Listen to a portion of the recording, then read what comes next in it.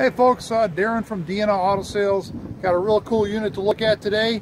2000 Ford three-quarter ton four-wheel drive van. Pretty rare unit, high top conversion. We're going to walk around it, check it out, and uh, take it for a spin, show you the inside, give you, let you know a little bit more about it. So let's check it out. We're going to be a little quicker today because it's 19 degrees and snowing. But uh, but this is it. Um, most of you guys know if you're looking at this that the Fords never came from the factory four-wheel drive. Usually it was a conversion company by Pathfinder or Quigley. Uh, this I believe is a local conversion that was done. Uh, you can tell it's a high top there. Um, overall, it's a decent van. It's really cool. It's badass, but it's not in great shape. It was a Michigan van, so it does have rust on it. Uh, the full drive conversion was done very recently, so all the full drive conversion parts are brand new. The tires, the wheels, the axle, the suspension, the transfer case. Uh, looks like it did a real nice job on it. You can see coil spring front. It's got the airbag in the center. Also has airbags in the back as well. Tires are brand new. Shocks. Uh, Dana 60 front end, so straight axle front end with the lockouts. Um, a real nice conversion package, but it does have some flaws and blemish. How does that go? Flaws and blemishes. That's how it goes. A few spots of rust where this cladding is hitting the body. There's some spots of rust there. Uh, kind of cracked right there. You can see a few bubbles starting there. There's the rear airbag, new shocks in the back as well. So there's a quick lap around it. Let's look inside. Obviously full conversion. This uh, this seat folds down into a bed. Also moves back and forth. Got the power buttons there. Up top, real nice, all the wood grain, vacuum cleaner. Again, it's a decent truck, but it's not real nice. It's not real sharp, but it's it's uh, definitely hard to find one like this. Take a look at the sides here a minute. So there's the inside. Of course, you got your four captain chairs. The TV works, the VCR works, the DVD player works. Uh, got the stereo in the back. I can't get any audio out of that. Um, most of the lights work by flipping those. Got the little dome lights up there and stuff. Again, that seat folds down to a bed, and then they've got the center armrest as well. A picture of the front. Let's see.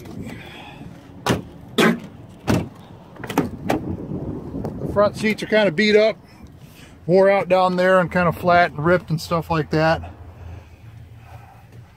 Shot of the back.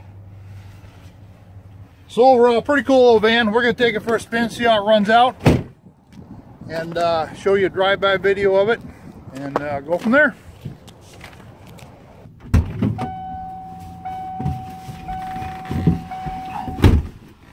That's a tall van. We're gonna take for a quick spin. Run down the road, see what works, what doesn't. Full, the uh, full drive shifter is on the uh, ground here, just your normal Ford transfer case. Four high, four low, two high, neutral, all that fun stuff. The van actually drives out very nice. You would think a big tall van like this sitting on 33s would be a little tippy or uh, be scary on the highway, but it actually runs out real nice. Suspension is tight, the brakes are solid. Transmission shifts real nice. Horn works, kind of like that. Does have power seats on the front. Uh, I think that one's manual, just the driver's power. The uh, air conditioning works on it, the heater works, the fan only works on high. There is a back fan control, but I can't find the fan back there, or the back control, so that's not working. Uh, stereo works, uh, and the speakers work back there also, but I just can't get that back stereo to get any audio out, but it may be just for the headphone jacks only. It is set up for video games back there as well. It's definitely got a stiff ride to it you can feel every bump and I'm on a pretty bumpy road right now. Power windows, power mirrors, they all work. All the lights work. We've gone through all that. uh, safety check as far as all the brakes, that kind of stuff. Uh, there is an ABS brake light on, so I'm sure one of the sensors are bad. Usually that's what it is on these things. Probably could be putting a new front Dana 60 front axle on it. There might not be ABS front sensors on it, and that's tripping the code. But overall, pretty decent old van, a lot of fun. Be one of a kind in your neighborhood.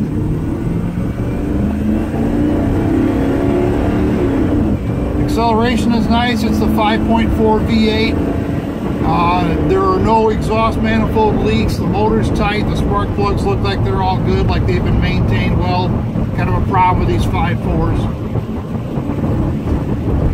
I think it's cool. It's got the skylights in the, the roof too. But you know, like I said, it's not a it's not a real nice van, but it's also not twenty five thousand dollars like real nice four wheel drive vans are.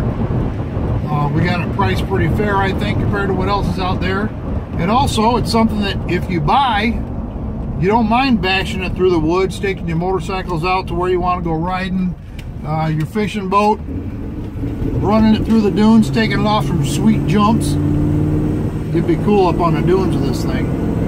I've always liked four-wheel drive vans. I always love how they look, and they're kind of hard to find. The last one I had, gentleman came up from Pennsylvania up to Grand Rapids, Michigan, and picked it up, and he, him and his son used it to go riding motorcycles with. So, um, but yeah, overall nice van. We're going to do a couple more drive-by videos so you can see it going down the road. I'm not going to take it off any sweet jumps. I'll leave that up to the next person that buys it. But I uh, appreciate you checking out the video. Any questions, give me a call, 616-318-0118. And then uh, my current pricing and information is on the website. It's uh, www.dnlautosales.com. You can see that on there. And again, I appreciate you checking out the video and uh, have a great day.